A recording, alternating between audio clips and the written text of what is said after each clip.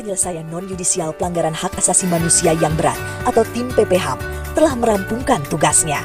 Dipimpin Menko Polhukam Mahfud MD, tim yang dibentuk berdasarkan Kepres nomor 17 tahun 2022 ini menyerahkan rekomendasi kepada Presiden Joko Widodo pada 11 Januari 2023. Dengan pikiran yang jernih dan hati yang tulus, saya sebagai Kepala Negara Republik Indonesia mengakui bahwa pelanggaran hak asasi manusia yang berat memang terjadi di berbagai peristiwa. Dan saya sangat menyesalkan terjadinya peristiwa pelanggaran hak asasi manusia yang berat oleh karena itu, pemerintah berkomitmen memulihkan hak-hak korban dan mencegah agar tidak lagi terjadi pelanggaran HAM berat di masa depan.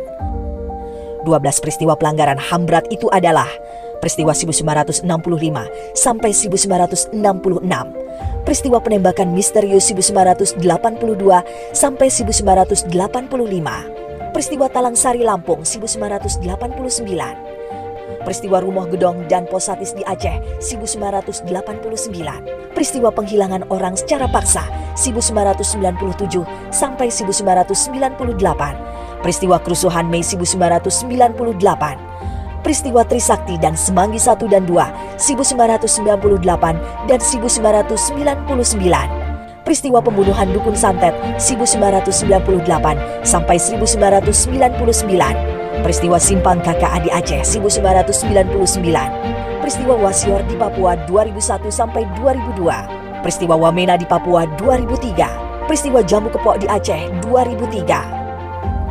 Pemulihan hak-hak para korban dimulai hari ini, mengambil tempat di lokasi rumah gedong Kabupaten Pidi, Provinsi Aceh. Langkah pemulihan hak juga dilakukan terhadap korban dan keluarga korban di luar negeri.